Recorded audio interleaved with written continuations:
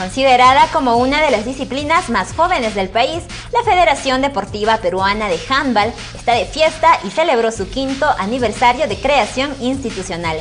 Un dato importante, de las más de 50 federaciones existentes en el país, es la única que tiene su sede principal en provincia y cada año se convierte en una buena alternativa deportiva.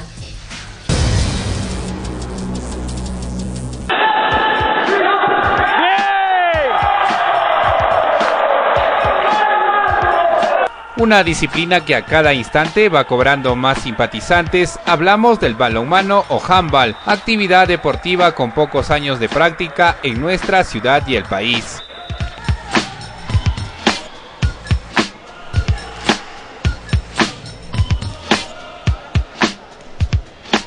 El pasado miércoles 14 de mayo, esta actividad deportiva, con muchos aficionados en Huancayo, estuvo de fiesta. La Federación Deportiva Peruana de Handball cumplió cinco años de creación institucional. Una federación joven, cinco añitos de trabajo permanente y creo que agradecemos a los papás, a nuestros técnicos, a nuestros deportistas de que esto crezca.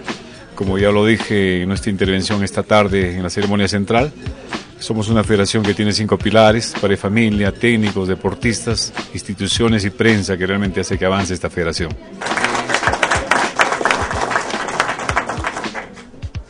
De las más de 50 disciplinas deportivas existentes en el país, reconocidas por el Instituto Peruano del Deporte, es la única federación con sede en provincia.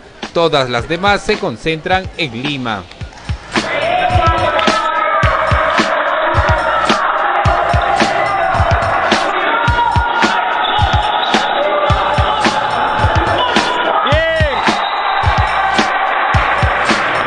Creo que nos sentimos muy emocionados en este quinto aniversario porque estamos en el 2014 y ya estamos casi en un 80% de nuestro plan y cómo será llegar a fin de año porque un termómetro para esto es la práctica del handball en el Perú. Este año debemos acabar con 13 regiones, pero estamos ya en 19. Y es una monstruosidad y es una desesperación. ¿Por qué? Medianoche, 10 de la mañana, 2 de la tarde, nos llaman balones, capacitación, técnico, campeonato. Entonces, eso creo que es un gran termómetro y nos alegra de estar trabajando en esto. En los cinco años de creación, actualmente cuenta con 53 clubes a nivel nacional y el balonmano se practica en 17 regiones del país y muy pronto se espera cubrir todo el territorio. El handball es la pasión de cada uno de nosotros. Cada uno ha encontrado una parte del handball que da con su vida y creo que este deporte es tan bonito que a cualquiera le encantaría practicarlo. ¿Qué falta para destacar más para internacionalmente, a nivel nacional? Ya lo hemos hecho. Ah, bueno, un poco más de apoyo. Como ya dijo el señor del Carpio, no confían tanto en nosotros porque no hemos traído muchos logros, pero ya que vino Hugo Valdebenito nos ha enseñado muchas cosas nuevas y creo que vamos a seguir adelante.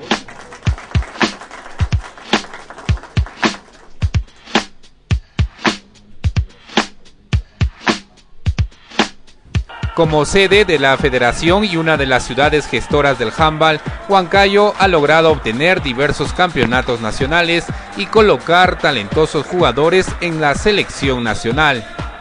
Bueno, yo me inicié jugando básquet. Soy del colegio era del colegio Helicit y bueno, fui al Challenge Entropy en Colombia.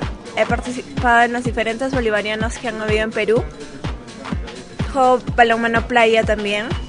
Y experiencias muy bonitas e inolvidables con la selección peruana de balonmano. ¿Cuál es tu máximo anhelo en este deporte? Anhelo. Eh, en los sueño. En los Juegos Panamericanos lograr un primer puesto.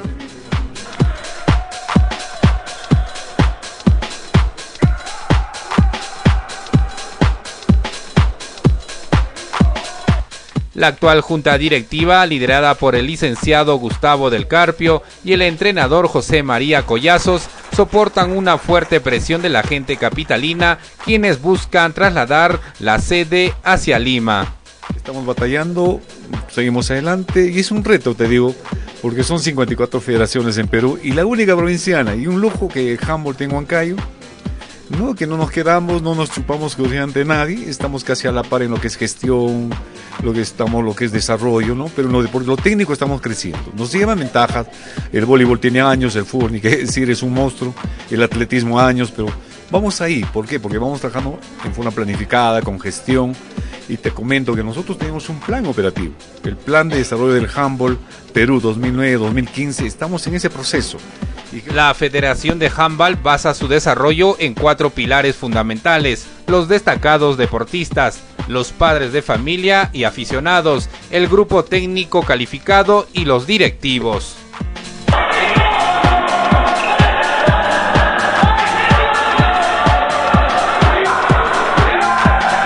Entonces no es nada imposible, solamente lo que queda es más gestión y pedir a las autoridades, quizás de la región Junín, a los alcaldes, nos, nos abran las puertas. Nosotros yo le pongo técnico, le pongo campeonatos, pero es que nos aporten con lo que tienen, que es vital, la economía. Y creo que con esto vamos a crecer más, porque ahora te comento, Walter, de que el IPD monitorea, mensual se hace la evaluación a cada federación y a cada región en lo deportivo. ¿no? Entonces en eso queremos estar a la par. Eh, con Lima. Lima es un monstruo, tiene presupuestos, tiene empresa, tiene banques, por eso que avanza más rápido Lima. Pero te digo, no estamos muy lejos ni distantes, estamos a la par, como te digo, por esta evaluación que hay mensual, este ranking y podemos ver qué región se quiere apuntalar o escaparse en la punta. Pero ahí estamos, colgándonos, que nadie avance más rápido.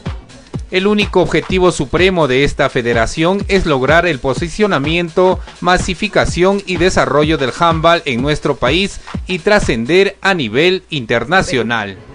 ¿Qué te ha dado el handball?